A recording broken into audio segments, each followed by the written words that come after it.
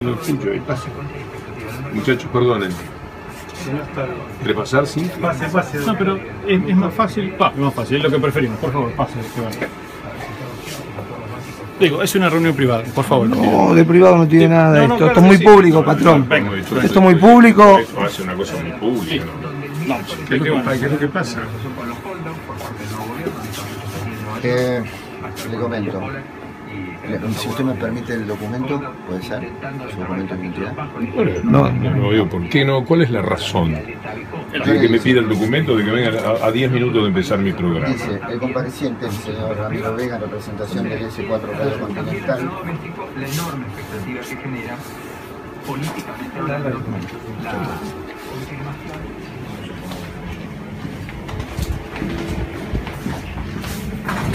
una acople, ¿eh? un acople en eh, un peronismo que tenga una sucesión distinta y, y demás. Paulino, perdón Querido por, Víctor por la Hugo. intromisión. ¿Cómo Por va? favor, ¿Cómo buen están? día. ¿Cómo está? Me están echando de la radio en No este te muevas de Continental. Estás escuchando a Nelson Castro. Ya llega la mañana. Mandó la tanda. Víctor Hugo. Lo están echando el este. Por eso las caras que veo ahí, Lo están echando a Víctor Hugo en este momento. Con un escribano público. no tenés un año más de contrato. Firmado. Ahorrar con Minico. Bueno, pero- Otro en grano amarillo, 300 gramos, 12,99. Galletitas Marolio, surtido, esperar la hora de mi 360 programa. gramos, 11,50. Enjuague esencial Doypack, 900 centímetros cúbicos, 12,50. Precio medio para la República Argentina, 24 2016. Se queda desvinculado de la empresa.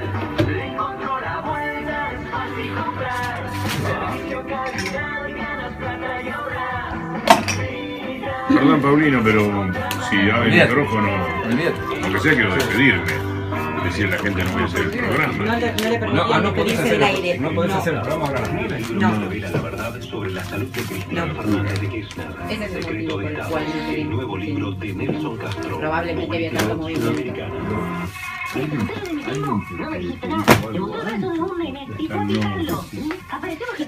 Acaban de decir. A mí me pegaron. Justa causa. ¿Cuál sería la justa causa? Millón. Pero esto es una norma laboral porque no decir que no les piden con justa causa. podés irritar tu piel. No hay manera que ¿Qué te te enteraste esta mañana, ahora, en este momento? Recién, en En este momento, este, cuando lo conozco yo, agarré y me vine para acá. Por lo menos para decirle a la gente no voy a hacer el programa hasta cualquier momento. Bodega Goyenechea. Vinos de ¿Aire eso? Sí, por eso lo remarco este, y por eso lo digo. Y simplemente quería eh, escucharte, me parece que Bueno, eh, has hablado con las autoridades. algo pasó. Yo tuve, por un lado, la suerte de venir. No estaría en este momento en el micrófono de no mediar un golpe de fortuna que ha sido llegar antes por el deseo de armar un programa especial como el que tenemos hoy, a un mes de la asunción de Macri, con todo lo que estaba pasando con los fugados. Teníamos todo lo que pensábamos. Íbamos a iniciar el programa por el lado del papelón, que ahora se hace un poco menos visible en la medida en que acaban de ser capturados Sí, esa es la los dos que quedaban. de la Me vine de antes y eh, después que yo estaba aquí me llegó una versión de algo que estaba sucediendo y efectivamente pudimos corroborar abajo. Está la gente de Telesur que venía para hacer una nota al cabo de un mes de Macri. Eh, querían hacer temprano la nota porque eh, no, no a, la, a la una de la tarde como yo les había dicho, y los había citado a las siete y media de la mañana, me vine un rato antes, hasta estoy peinado y afeitado de manera tal que era televisivo. Y cuando nos dimos cuenta de lo que estaba ocurriendo, empecé a sospechar, por experiencia, porque ya me echaron una vez de la radio, que me estaban tendiendo una especie de trampa, la habitual que se hace cuando no quieren que un profesional siga en un lugar, en este caso en una radio. Abajo me estaban esperando con escribano, evidentemente con fuerzas de seguridad o, esas personas que si te pones muy pesado de que querés entrar de cualquier manera te lo impiden. Y me quedé aquí arriba, en algún momento vinieron a buscarme, uno de los directivos de la radio, no me pudo decir la verdad evidentemente porque me dijo, le digo, ¿por qué quieren hablar conmigo? Dijo, por lo de Clos. Y lo de Clos le digo, puede esperar su bajo a la una. Indudablemente eso corroboraba que me estaban queriendo echar. Lo que le quiero decir a la audiencia es que me echan de la radio, que no voy a poder hacer mi programa desde las 9 de la mañana, que trataré de buscar vías de comunicación y que esto está en el contexto de una situación agobiante, asfixiante, terrible para la democracia, para la libertad de expresión en la República Argentina. Mauricio Macri, que es nada más que la máscara de Héctor Mañeto y el grupo Clarín, se han hecho cargo del país. Yo he sobrevivido en los últimos tiempos a todo tipo de ataques, a una sentencia jurídica que es una vergüenza, juzgándome culpable de lo que jurídicamente no lo era, pero además haciéndome pagar absolutamente todo, a tal extremo que antes de las elecciones, antes de conocerse el estado de cosas político de la Argentina, yo mismo le había dicho a la radio que con la tercera parte del sueldo no podía vivir. O me buscaban un arreglo mejor, o eh, me pagaban todo el año y yo me iba. Pero llegaron las elecciones y yo me di cuenta exactamente de lo que iba a suceder. ¿Qué es esto que está pasando ahora? Que en el país, si no te disciplinasen las empresas y lo que las empresas quieren escuchar, no se puede trabajar. ¿Y por qué? Porque las empresas en estos momentos, más allá de las simpatías que puedan tener por mí hasta los directivos que me están echando, las empresas están atadas a la necesidad de una pauta que maneja solamente un gobierno, un gobierno tripartito, la troika de Clarín, Cambiemos y una pata del Poder Judicial. Ellos eh, están en estos momentos eh, gobernando por encima de todos los valores que antes eh, proclamaban respecto a la república, a la democracia, se han reído absolutamente de todo. Y yo vengo a hacer una especie de culminación o de frutilla sobre el postre de toda esta desvergüenza con la que han traicionado lo que dijeron, traicionan a la democracia y traicionan a la libertad de prensa. Me echan porque esta empresa y no los juzgo tan severamente como eh, podría pensarse. Esta empresa está atada a la necesidad de la pauta publicitaria y la maneja solamente un gobierno, la del país, la de la nación, la de la provincia de Buenos Aires y la de la ciudad de Buenos Aires, con influencia en la de Córdoba y sobre todo en la de Mendoza, con lo cual no hay radio en la Argentina, no hay medio de comunicación que pueda sobrevivir sin esa pauta publicitaria. Lo saben los medios, todos están desesperados y negociando.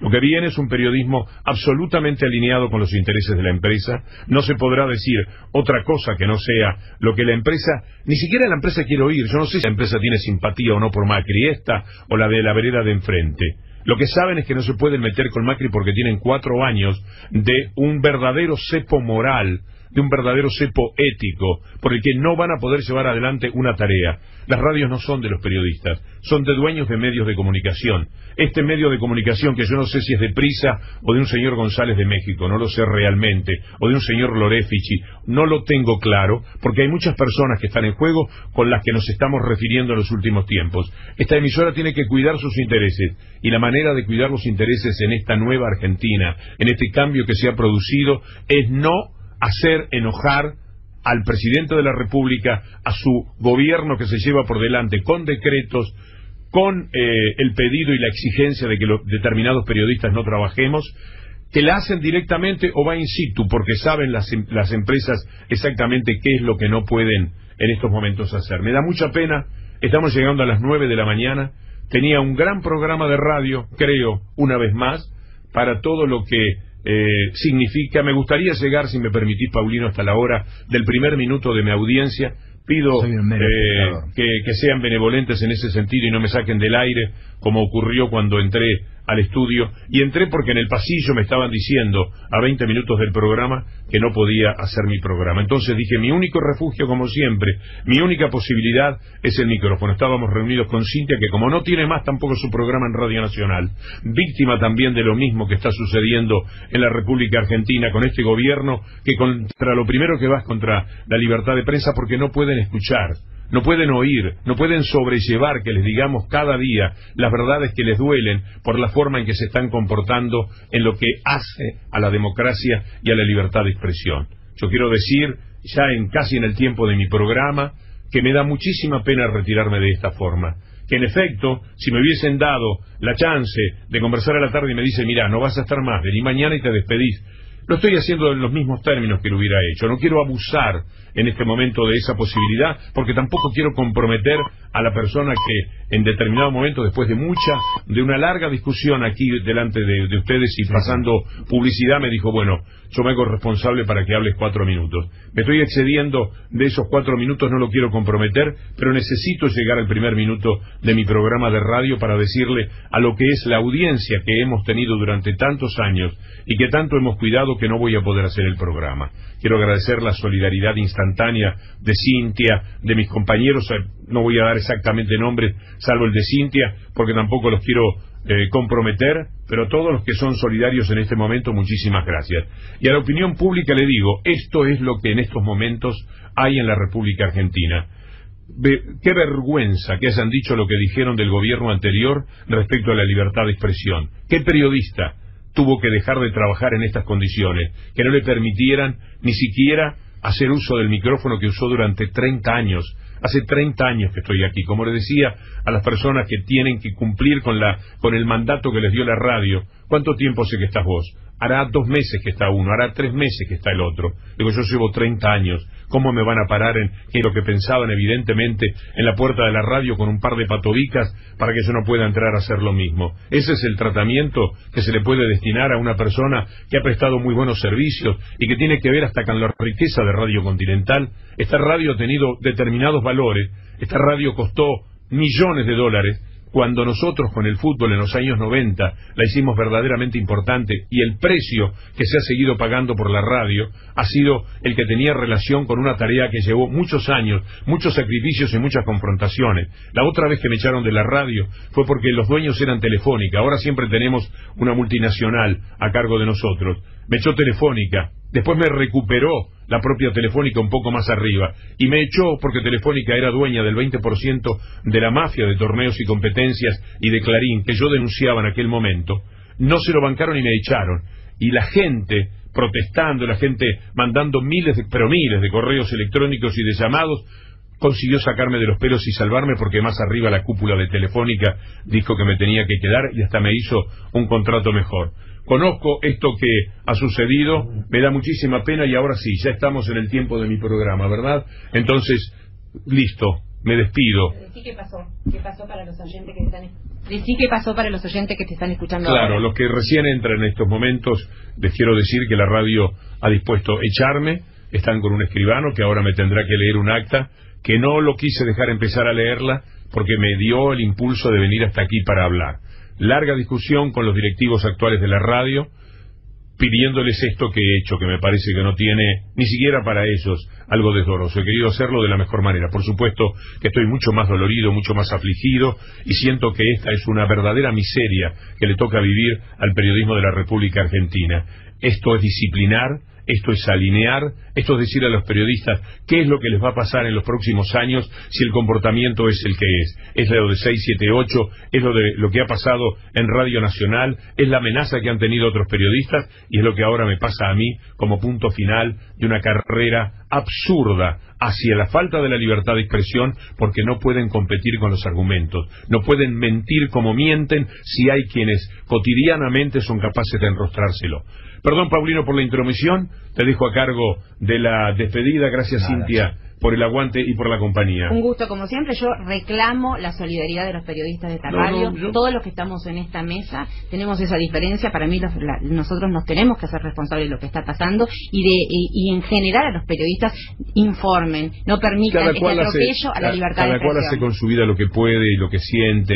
Yo no exijo nada. Yo quiero contar qué es lo que me pasó a mí, qué es lo que me está sucediendo y estoy, por suerte, pudiéndome despedir, cosa que la radio, la, la empresa, pretendió impedir y que con un golpe de fortuna yo he podido evitar, llegando un poco antes, que una especie de redada por lo que más o menos he sabido, nosotros tenemos a la gente de Telesur abajo que venía para esa nota y que seguramente se dieron cuenta de todo porque más o menos nos han advertido de lo que estaba sucediendo. Y el movimiento inequívocamente era el de que van a echar una persona y era yo la persona que van a echar como ha quedado confirmado.